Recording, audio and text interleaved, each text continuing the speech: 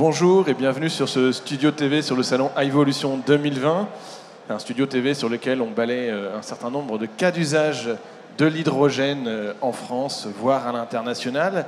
Et pour le sujet qui nous intéresse, on va se pencher sur le maritime et le fluvial.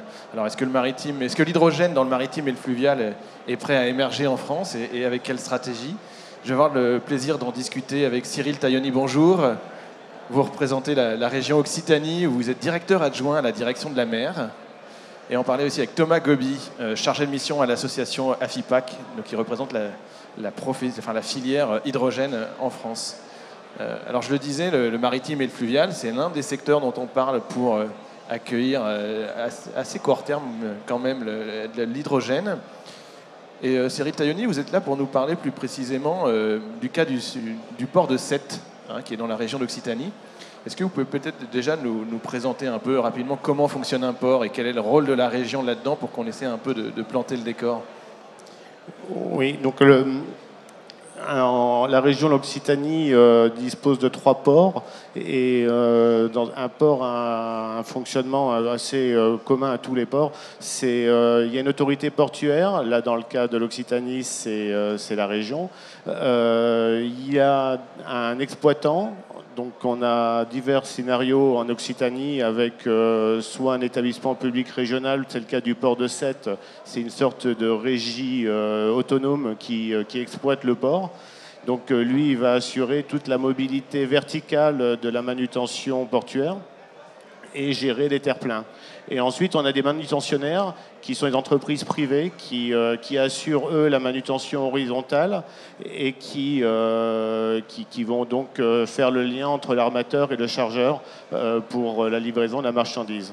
Donc tous ces acteurs, la région que je représente assure en plus l'entretien et le maintien des profondeurs des ports. Et donc on est, à ce titre, on est armateur. Euh, donc tous ces acteurs que nous sommes euh, sommes autant d'utilisateurs potentiels. Alors on sait que la région Occitanie euh, est souvent citée en exemple sur les sujets hydrogène, mais qu'est-ce qui fait qu'un port est un endroit particulier et intéressant pour l'hydrogène? Et, inversement, en quoi l'hydrogène va intéresser le port? Donc, donc, oui, vous le rappelez, la, région Occitanie, notre présidente Carole Delga a, initié une politique environnementale assez, importante. Donc euh, d'abord, euh, on est énergie, euh, on est région à énergie positive. Donc l'objectif, c'est de réduire par trois les consommations de carbone en Occitanie. Et plus récemment, en 2019, elle a, été voté un plan hydrogène qui, porte à 150 millions d'euros le, plan hydrogène des prochaines années. Et donc le, du coup, le port de Sète s'inscrit dans, cette dynamique. Donc, euh, quel est l'intérêt d'un le port euh, C'est un territoire finalement assez restreint. Hein. Le, port de Sète, c'est 150 hectares.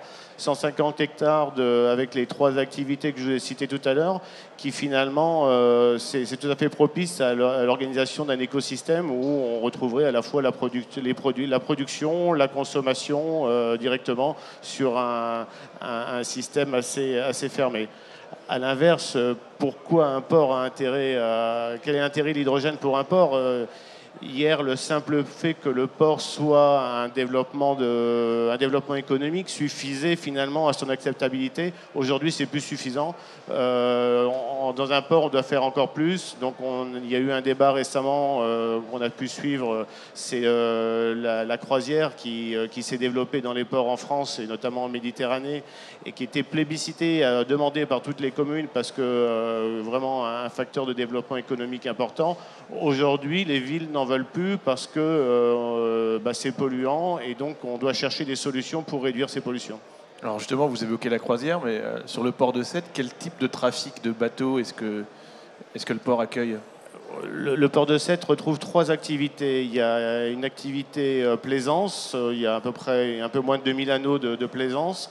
Une activité pêche, hein, c'est le premier port méditerranéen, euh, donc avec 2500 tonnes à peu près de, marchandises pêchées par an et déchargées en criée. Et une activité commerce. Et l'activité commerce, c'est 4,3 millions de tonnes. Et, elle, est, plurielle. Hein. ça fait, c'est du passager avec des ferries, des croisiéristes. Ça représente à peu près 200 000 passagers en tout, 200 000 de ferry plus 100 000 croisiéristes. C'est du, du, vrac solide, liquide. C'est aussi depuis maintenant quelques mois un trafic roro avec la Turquie. Donc c'est 80 000 remorques qui, qui arrivent par, par bateau sur le port et par, soit par train, soit par la route. Et donc là aussi, on a un vecteur intéressant pour l'hydrogène avec toutes ces remorques qui passent par le port. Alors, vous l'avez dit et déjà explicité, il y a, beaucoup d'usages qui se retrouvent sur le port. Et quels sont les cas d'application de l'hydrogène sur lesquels vous travaillez aujourd'hui? On a deux principaux projets. Donc, euh, le premier qui est porté euh, par ma direction et qui est directement euh, un choix d'armateur de la région, c'est d'une drague à hydrogène, donc une drague hybride à hydrogène. Et le deuxième est un projet de partenariat donc, avec Nexeia et le port de Sète qui consiste à disposer d'une barge à hydrogène qui, permettrait du, coup d'alimenter les, navires à électricité. Alors, prenons déjà peut-être le cas du, dragage, la drague à hydrogène. Concrètement, de quoi il s'agit? Euh, ben, nous, la région drague, c'est, on fait à peu près 250 000 tonnes de mètres cubes de, dragage par an, et on a une flotte vieillissante qu'il fallait remplacer. Donc, euh, on, s'est retrouvé devant la problématique d'un armateur de, faire le choix du renouvellement. Euh, porté par une politique régionale qui encourage effectivement les énergies renouvelables et euh, les nouvelles énergies, on, est parti sur un, projet donc hybride à hydrogène. Donc c'est une drague, ça sera quand même un navire, c'est un navire de 80 mètres. Hein. Euh, il y a un puits de 1250 mètres cubes pour recueillir le sable. Euh, et, donc, euh, le projet hydrogène, c'est à peu près euh, une autonomie de 100 heures avec 300 kW de, de pile à combustible qui serait, qui serait embarquée. Quel calendrier pour ce projet? Bah, le, projet est enclenché, ça y est, depuis quelques semaines. Euh, l'appel à candidature est lancé. Donc, euh, on recherche aujourd'hui les, chantiers navals qui seront capables de répondre à, cet appel d'offres, euh, qui seront bien sûr accompagnés de, des, des, industriels capables de développer la pile industrielle à bord. Euh, et, donc euh, l'appel d'offres court jusqu'au 2 mars pour, euh, pour pouvoir ensuite sélectionner ces candidats. Donc on est en plein dans l'actualité. Ça c'est le premier projet, la le dragage à partir d'hydrogène. Et il y a l'autre projet, la barge à hydrogène. Qu'est-ce que c'est qu'une barge? L'idée de cette barge, c'est justement de, suppléer au groupe électrogène aujourd'hui qui tourne inutilement sur les ports euh, pendant que les navires sont à quai. Donc le, plutôt que de faire de l'électricité quai, en fait c'est un parallèle de l'électricité quai, mais l'électricité quai ça nécessite des infrastructures importantes, des, gros travaux euh, pour amener l'électricité jusqu'au quai. Et en plus les besoins en énergie, notamment pour des bateaux type croisière, sont énormes. Donc euh, l'idée qui, germe dans ce projet, c'est vraiment de dire on, va installer une pile à combustible sur cette barge et la barge ira au bateau. Et ce qui est intéressant, c'est qu'elle ira au bateau qui est à quai, mais elle pourra aller aussi hein, au bateau qui est au mouillage, elle pourra aller aussi à un bateau qui est sur un poste offshore dans le port. Et, donc ça permet vraiment de... Elle est multiservice, en plus, elle permettra d'offrir quelques services au bateau en, même temps. Donc c'est une barge équipée d'une pile à combustible pour aller ravitailler... Euh, l'électricité, les, les, bateaux, plutôt que de développer les infrastructures électriques à même le, à même le port. Tout à fait. Alors, Thomas Gobi, euh, à la FIPAC, vous représentez la, filière hydrogène et le maritime et le fluvial, c'est l'un des secteurs d'application de la filière. Au-delà du, du 4.7 euh, qu'on vient d'évoquer, justement, euh, est-ce que la filière maritime et, fluviale, justement, c'est un, sujet important pour, l'hydrogène? On parle souvent de la mobilité terrestre, mais comment se positionne plus largement la mobilité maritime et fluviale sur, le sujet hydrogène? Alors, on, constate véritablement euh, que c'est un sujet émergent avec énormément de projets maintenant. On en dénombre euh, au moins une, quinzaine en France, hein, aussi bien maritimes que fluviaux. Euh, donc sur les, différentes façades, à la fois Méditerranée, Atlantique, au niveau aussi de la Manche. et à l'intérieur, on, on, peut citer Lyon, Paris, enfin voilà, différents projets du côté de Toulouse aussi. Euh, c'est quoi comme projet, par exemple, concrètement? Bah, Alors, du côté de, de c'est quand même un, très bon exemple, puisqu'on a différents usages quand même qui sont, euh, qui sont déployés. On a à la fois de la recharge à quai, donc ça c'est euh, typiquement une solution qui est étudiée par énormément de ports. on peut citer aussi les, les, autres ports de Méditerranée, par exemple à Marseille, à Fos, où là c'est des, des, piles aussi qui peuvent aller jusqu'à 1 voire 2 mégawatts Donc on est pour des, pour ferries de, taille importante. Donc voilà, on, est sur des usages industriels et aussi pour des auxiliaires de puissance. On a vu les chantiers de l'Atlantique annoncer un, projet avec MSC Croisière sur une pile à combustible haute température au alimentée au GNL. Donc, et bien évidemment la propulsion aussi euh, des, navires. Euh, on peut citer euh, Toulon, on peut citer aussi ce qui se passe du côté de la Bretagne, voilà, du côté de Nantes. Donc on a tout un tas de, projets qui, émergent comme ça, et avec souvent des acteurs français aussi, c'est important de, de, le préciser. On parle beaucoup de ce qui se passe en Norvège, au Japon, aux États-Unis, à juste titre. Mais euh, en France aussi, on a énormément d'acteurs qui se, positionnent. Hein. on peut les retrouver euh, sur le salon. Donc, euh, donc, voilà, on voit vraiment le, panel de, solutions, d'usages qui se, qui développe. il ne faut pas forcément penser que propulsion des ferries, paquebots, porte-conteneurs, qui sont les, plus emblématiques, mais aussi d'autres usages sur, lesquels l'hydrogène peut répondre très directement justement, je, crois savoir que la filière hydrogène euh, a travaillé avec euh, le, secteur maritime et, fluvial pour, pour construire ce qu'on appelle un engagement pour la croissance verte. Alors, déjà, est-ce que vous pouvez nous expliquer ce que c'est que cet objet, l'engagement pour la croissance verte, ou ECV pour les intimes? Alors je, vais essayer de, faire vite et, simple. Euh, non, c'est un, outil qui a été mis en place dans le cadre du plan national hydrogène qui est sorti en juin 2018 en fait, il y avait le, volet, financier pardon, qui était opéré par l'ADEME, donc via les appels à projets, et euh, les ECV, donc les engagements pour la croissance verte, pour euh, structurer un petit peu la, filière, dégager des engagements communs et réciproques entre l'État et les acteurs de la filière, euh, pour essayer d'identifier les bons, les, verrous en fait que rencontrent les acteurs, et essayer d'y apporter des, réponses adaptées. donc il y en a déjà deux qui ont été signés, un sur la production d'hydrogène décarboné pour l'industrie, donc là qui est aussi un, très gros sujet, et la mobilité terrestre, euh, aussi euh, très gros sujet. Et euh, donc le prochain qui sera, qui sera signé sera donc sur les mobilités maritimes et fluviales.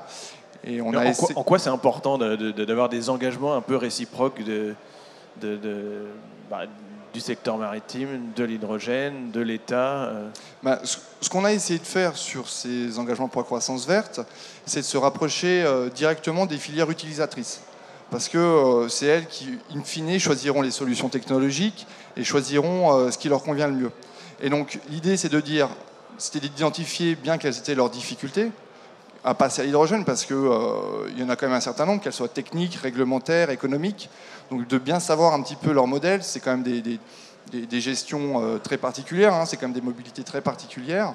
Donc euh, voilà, bien comprendre ça, de voir où en était la, filière hydrogène de son côté, au niveau aussi bien des piles à combustible que du stockage. On sait que le, stockage embarqué, c'est une grosse problématique euh, pour la filière, même s'il y a des, réponses qui se, qui se développent. On parle d'hydrogène liquide, on parle d'ammoniac, on parle de méthanol, on parle d'autres solutions de vecteurs liquides. Donc voilà, on, on voit qu'il y a tout, quand même tout un panel de solutions. Et voilà, donc il fallait aligner toute cette chaîne de valeur, euh, identifier quels étaient les verrous et voir euh, au niveau de l'État comment on pouvait essayer de, les résoudre. Qu'est-ce que vous avez entendu comme message alors de la part de, la filière maritime et, fluviale? Ben, Il y a de très gros engagements qui sont euh, à respecter, notamment au niveau de l'OMI, Région maritime internationale. Il y a la mise en place des, des zones de contrôle des émissions de SOx, de NOx. Donc il y a un gros enjeu réglementaire, il y a un gros enjeu d'innovation. Et euh, l'hydrogène apparaît de plus en plus comme une euh, alternative euh, dans un mix, en fait. Ce qu'il faut bien comprendre côté armateur, qu'il soit fluvio ou maritime, mais notamment côté maritime pour les plus grosses motorisations, il n'y aura pas forcément une solution unique, même sur un bateau. Voilà, ça sera une architecture, une combinaison de solutions. Ça peut être des batteries, du GNL, ça peut être la traction vélique. Et ça peut être l'hydrogène sous toutes ses formes. Et de plus en plus, l'hydrogène est considéré comme une solution euh, incontournable de ce mix. Alors, euh, du coup, ça peut déboucher sur quel type d'engagement, entre guillemets euh, Est-ce que ça soit de la part de l'État, de, la filière hydrogène, de la filière maritime? Concrètement, est-ce que, quel type d'engagement est-ce que ça peut donner? Alors, côté armateur, par exemple, on nous a demandé d'avoir il y avait un besoin de visibilité sur un peu l'offre technologique, l'offre industrielle, voilà, parce que beaucoup de choses circulent et ils voulaient qu'on les aide à démêler le vrai du faux. donc voilà, côté filière industrielle hydrogène, c'est voilà, s'engager à, construire une, feuille de route du déploiement de l'hydrogène dans le maritime et le fluvial. Euh, que ce soit sur euh, les parties piles à combustible, e-fuel euh, par exemple. côté État, ça peut être sur des engagements sur la partie réglementaire, d'un accompagnement poussé sur voilà, le déploiement notamment en, zone portuaire, on en parlait à, l'instant avec SET. De voir quelles sont les spécificités et comment, comment on peut y répondre, notamment dans le cadre de la stratégie nationale portuaire. Voilà, c'est des engagements sur l'innovation, euh, où on a essayé aussi de, regrouper CEA, CNRS, Institut Carnot pour faire un guichet commun, une entrée commune plutôt. Voilà, donc on a essayé de traiter euh, les différents axes euh, stratégiques qui se posent pour les différentes filières. Alors justement, Cyril Tailloni, vous, qu'est-ce que vous attendez de la filière hydrogène quel, frein est-ce que vous avez pu éventuellement identifier sur le terrain pour, pour développer l'hydrogène? Donc la, région va justement euh, s'engager dans, cet euh, engagement croissance verte. Euh, pourquoi on le fait en tant qu'armateur? C'est justement parce qu'on a besoin de, l'État, parce que quand on construit un navire, et encore plus dans, avec des technologies innovantes comme celle-là, euh, on veut qu'il puisse naviguer. et, donc, qui c'est qui autorise la navigation? C'est l'État. Donc, euh, c'est vraiment indispensable qu'on puisse, euh, par le biais de cet engagement croissance verte, pouvoir se retrouver en réseau avec tous les acteurs et construire notre, notre drague dans le respect des règles et dans le respect de ce qu'on va nous demander demain il sera prêt à, prêt à naviguer. Et euh, pour, vous, le, voilà, l'enjeu, il est d'abord réglementaire ou, il y a d'autres sujets? C'est vraiment le principal enjeu quand même. Hein. C'est très très très important parce que ben on a des hommes qui vivent à bord, on aura, enfin il y a, y a, toute une réglementation à respecter. Et c'est vrai que même si euh, du gaz à bord des bateaux, c'est pas nouveau, hein, euh, beaucoup d'armateurs ont fait le pas du gaz naturel pour pour justement régler un petit peu le, problème des, des, rejets carbone, enfin des rejets en tout cas de, de NOx. Mais donc la réglementation existe, mais l'hydrogène, c'est quand même très particulier. Après, il y a un autre point qui est important pour, nous et qui peut être un, frein, c'est euh, le stockage et le, standard du stockage. Donc nous, on a l'intention de partir sur un standard type euh, euh, conteneur, et c'est comme ça qu'on imagine, mais c'est c'est très important que la filière, on soit en phase avec la filière, de façon à ce que demain notre, notre vecteur de stockage ne soit pas différent de celui que fera que développera la filière. Alors justement, euh, qui dit utilisation de l'hydrogène, qui dit stockage de l'hydrogène, dit aussi production de l'hydrogène.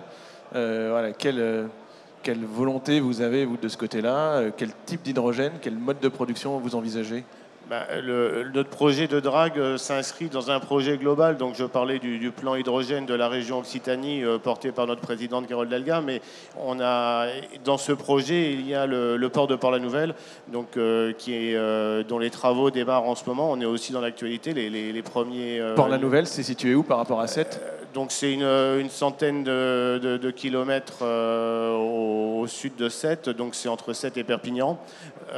c'est un, port un petit port euh, canal qui, fait un peu, moins de 2 millions de tonnes aujourd'hui. Et la région a une ambition de développement et donc on fait des travaux euh, très importants pour, euh, pour augmenter les capacités de ce port, tant pour faire du développement de marchandises, mais aussi pour accueillir, pour accueillir et accompagner euh, le projet des deux fermes éoliennes qui, euh, offshore qui vont se, se développer dans les années à venir. Éolien flottant, là. Éolien flottant, tout à fait, en Méditerranée. Et donc, euh, on a deux fermes, celle de, portée par Engie à Barcarès et celle portée par Eolmed sur Gruissant. Et donc, on a, dans le cadre du plan du, de, Littoral Plus, euh, le PIA à venir, euh, la région s'est portée candidate, a été lauréate. Et donc, on, avec, euh, avec premier élément, qui va installer une usine de, fabrication d'hydrogène reliée à ces fermes pilotes dans un premier temps, mais commerciales à terme, pour produire, pour être un hub de production d'hydrogène en Occitanie. Produire l'hydrogène à partir du coup de l'éolien flottant. Exactement. Et ça avec donc on appellera ça donc de, l'hydrogène vert. L'hydrogène vert et coupler ça avec euh, du coup les usages, notamment maritimes et fluviaux. Bah, merci beaucoup. Il ne nous reste plus qu'à guetter la, signature et la sortie de cet engagement pour la croissance verte euh, au printemps prochain. Dites le printemps, logiquement au printemps prochain. Merci beaucoup euh, d'être venu nous, nous expliquer tous ces enjeux. Merci.